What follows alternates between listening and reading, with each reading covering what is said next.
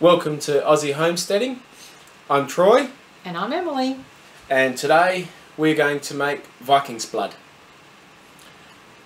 So, what we've got is we've got frozen cherries bought at the supermarket today. Sweet cherries. Sweet cherries. And they were from Woolworths. Um, they were the Woolworths brand, and I think they were four dollars for five hundred grams. So we've got two bags. So we've got a kilo. And we've got two almost full tub kilo tubs of honey. So, and that's what we're going to uh, make our Viking's, Viking's blood, blood from. which is cherry mead. cherry mead. Um, so it's really honey mead with cherries, hence the colour Viking's blood. That's right. So, to start off with, we need to mash up, blend up our cherries. Okay, first we're going to sterilise our hands. And this is sterilising solution. Um, making sure we've got it all through ourselves before we touch the sterilised bits and bobs. So, oh, we didn't plug this little bugger in. Just there. Oh, look at that. Aren't you efficient?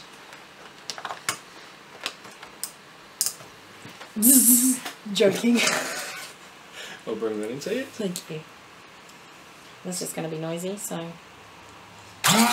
Ooh!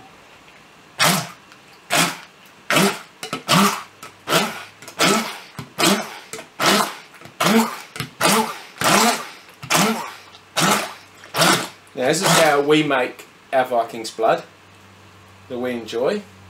It's all, all different people have recipes for it.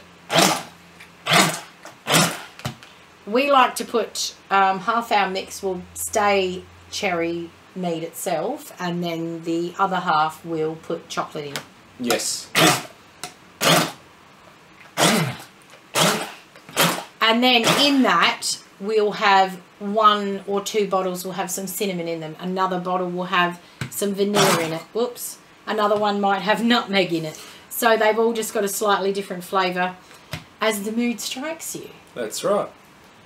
I'm making a bit of a mess here, but That's alright. um, some people mash their cherries with like a potato masher, but we like to mash it. Uh, not we have done that in the past, but we actually decided to bar mix it because you're getting um, you're just really crushing up those skins a little bit more, and it just seems to make stronger cherry flavour, doesn't it? Stronger cherry, a lot stronger colour. So we suggest if you're wanting, and it's cherry mead. It's not honey mead with cherry. It's cherry mead. So you want the most cherry flavour you can get out of it, and the most success we've had for getting a really strong cherry flavour is by bar mixing it. So Yeah. I'm just going to put that aside because we're done with that now. Okay. So now we'll pour this. So what we've got here is pre-warmed 18 litres of water. So it's about 28 degrees centigrade at the moment. And should keep it about that with adding the honey and, and everything. And I've got excess Wait. water. You want your spatula? Yes, please. Nice Paw Patrol one. A must do. And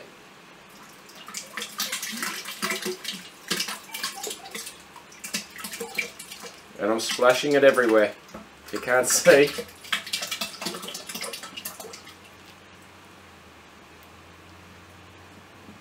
Getting every last drop of cherry juice out of that container. Oh yeah. Alright. It's nice.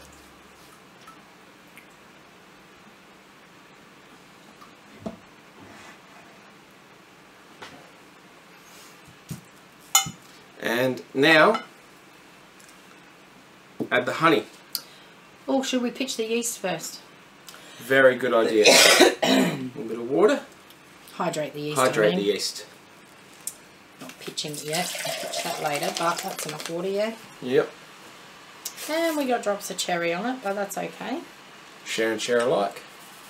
And what one are you using? Now, what we're using here is a Mangrove Jack's mild uh, mead yeast, uh, M5 No. 05. No, MO5. M05. You don't have your glasses on. MO5. It's a bit of an angle. You're lucky I've got 2020 vision. Now, this yeast is good up to 18% um, and has a fermentation range between 15 and 30 degrees. So, I tend to keep it around about 25 to 28 degrees, um, and I find that works best. Mm. So, now we'll add the honey. And I'll just clean this for you. Thank you. I have a bucket of sterilised water over here, which is what we're, why I'm poking down. That's what we do. We keep sterilising things as we go. This honey has been warmed just slightly, just to make it runny. And that's raw honey, fresh out of the hive.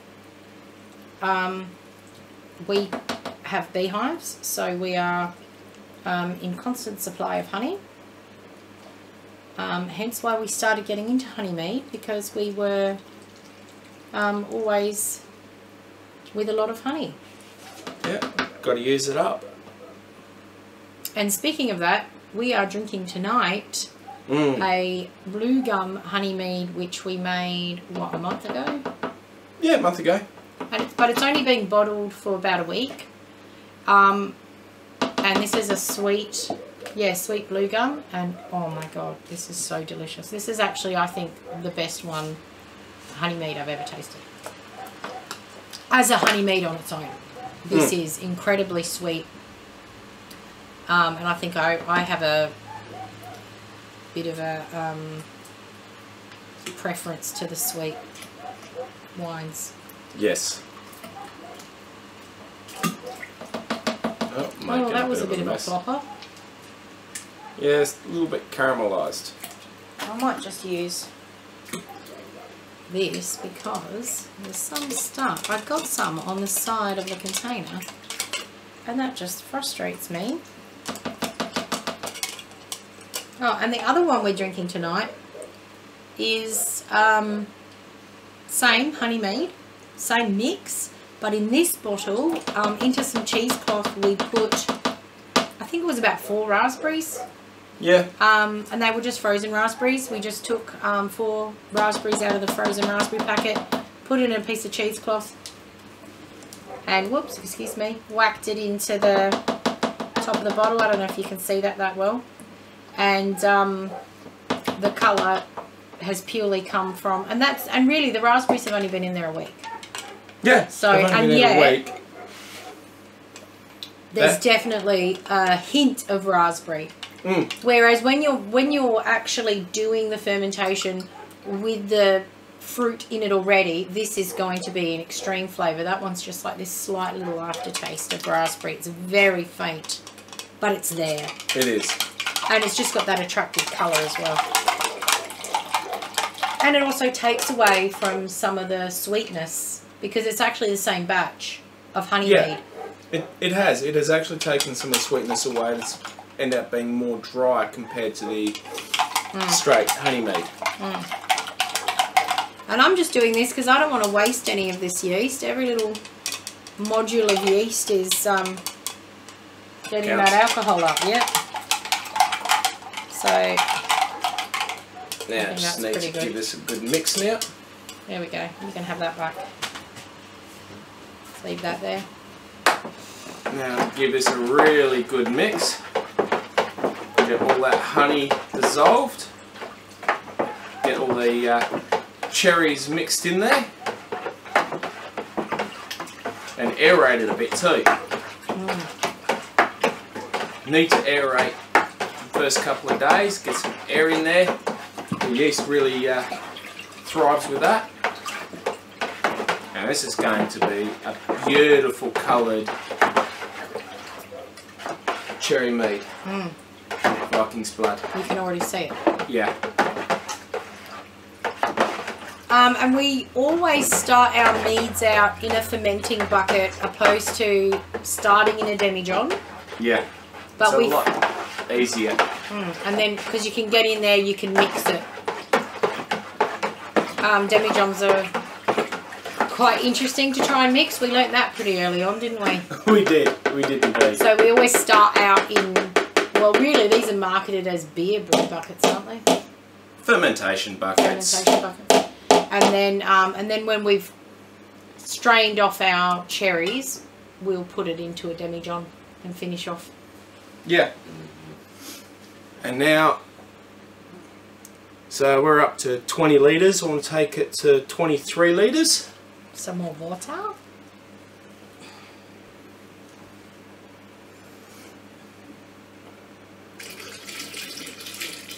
Let me know when to stop, please. I will, I will, I will.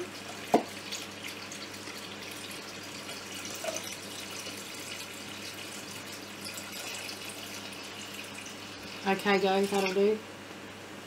Okay. And now, Mmm, honey on my fingers. I know I've got honey on my fingers too. Mhm. Now to pitch the yeast. It's nicely hydrated. It's like a milky, almost like a pale uh, iced coffee. Now, why you um you always hydrate it first for the purpose of And so you don't shock the yeast. By chucking it in there. By in the just chucking it straight in here, you want to get it, bring it up to life, bring it up to room temperature, and before you put it in. Just and- chuck a little bit more water in there. Yeah, just a tiny little bit. We don't want to waste that yeast.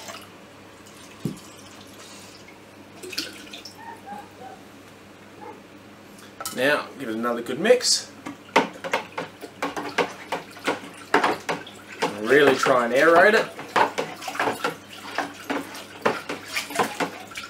Oh, making a bit of a mess.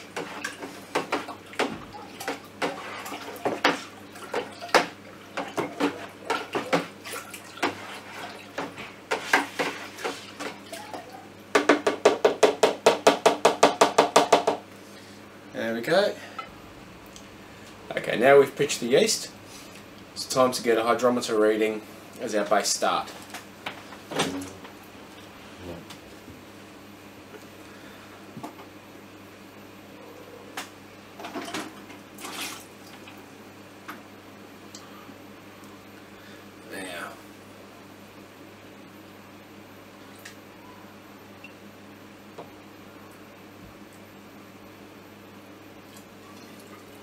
All this equipment has been sterilised out of the bucket on the side.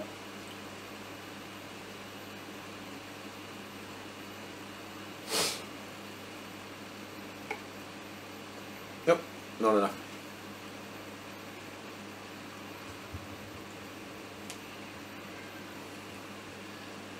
Now, we're only at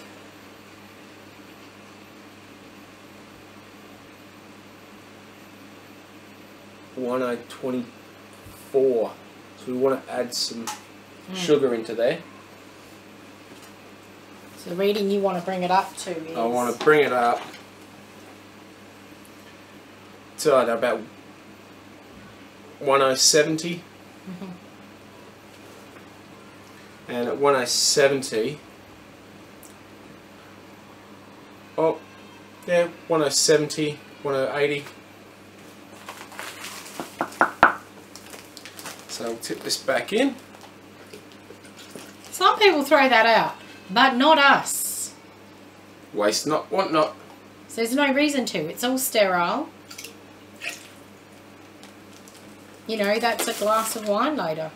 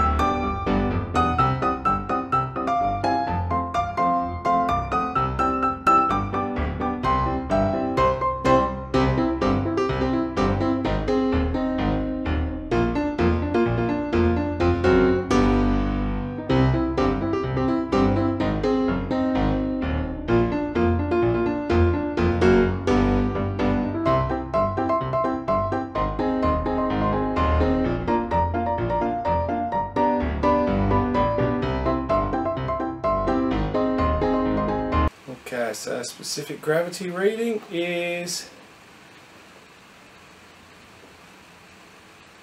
one point zero nine.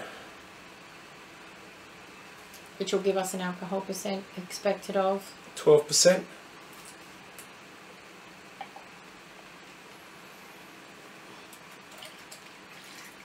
Now we put that back in. Assuming we don't distill it. That's an option as well. Mm. We haven't done that yet. No, we did talk about that today when we decided to make this one today. We've never distilled a Viking blood, so would be a a honey spirit. Well, it'd be a cherry honey spirit. That it would. Be interesting. Choc, no, cherry choc honey spirit. Cherry honey choc, moonshine. No, Yeah, because we're going to put them in when we uh, we'll do when when we're we put them in the um, demijohns. Demi Johns. We'll put some um, chocolate in. airlock, please. Hey, look.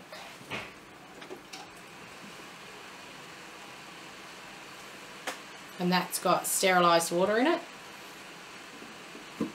You can use alcohol or sterilised water. We generally use sterilised water because why waste alcohol? That's right. And now put that into a oh, cool dark place. I tend to put a heating band on them because we get a bit cold here at night this time of year. And about 10 days we'll decant it into the demijohn. Yeah, we'll be um, sitting out the cherries because they'll be spent by then. Yep. And we'll put another video then. Thanks for watching. Another homesteading No, another Aussie homesteading video where we that's still you. distill like a hillbilly bogan, Hunt like a caveman. brew like a Viking, and Preserve like a 19th century housewife.